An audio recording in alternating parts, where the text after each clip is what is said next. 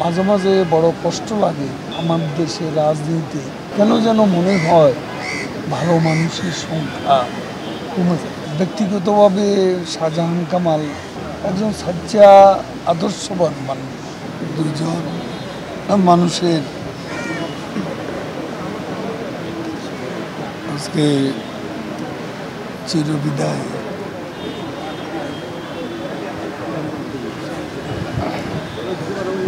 আমরা এখানে সমবেত হয়েছি। জানাজার নামাজে সামিল হয়েছি। আমাদের পার্টির পক্ষ থেকে আমরা ফুল দিয়েছি। আমাদের নেত্রী, আমাদের পার্টি প্রধান, প্রধানমন্ত্রী শেখ হাসিনা বাইরে আছেন। তিনি শোক বার্তা পাঠিয়েছেন। শাহজাহান কামাল এবং উকিল আব্দুল সত্তারের জন্য শোক পাঠিয়েছেন। ব্যক্তিগতভাবে শাহজাহান কামাল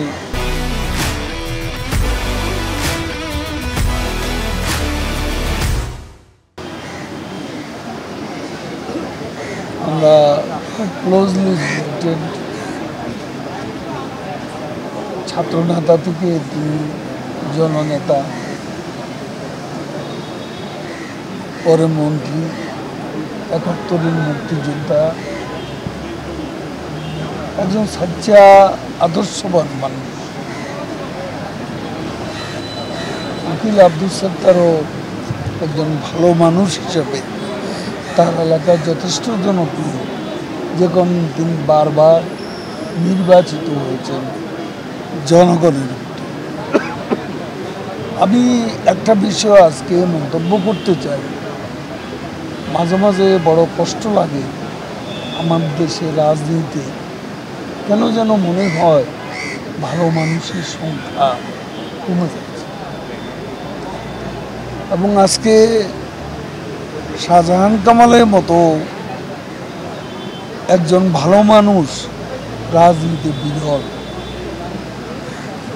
আজকে তাকে হারানো মানে আমরা একজন ভালো মানুষকে হারালাম। আজকে তো আর কিছু করার নেই।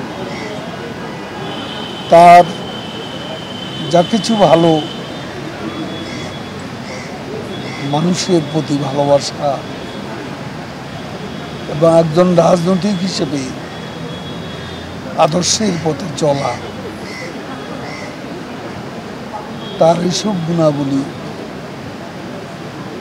আমরা মনে রাখব এবং অনুসরণ করব, যা কিছু অনুসরণ করব তেমনি পীর আব্দুল সত্তারও একজন ভালো মানুষ হিসেবে সুপরিচিত। আমরা এদের মৃত্যুতে আমি এক কথায় মন্তব্য করব যে আমরা দুজন ভালো মানুষ সব জায়গায় রাজনীতির প্রশ্ন করবেন না। যেটা এটা এটা একেবারে মৃত্যু স্বাভাবিক মৃত্যু। আমরা এ উপলক্ষে আমাদের মানুষ হিসেবে তার সম্পর্কে বলা সেটা বলেছি। পরে শোকসভা যখন হবে আনুষ্ঠানিকতা তখন আমরা কথা বলব। এর সাথে বিশ্ব রাজনীতির সংযোগ খুঁজে পাওয়া আমার মনে হয় এটা দরকার নেই।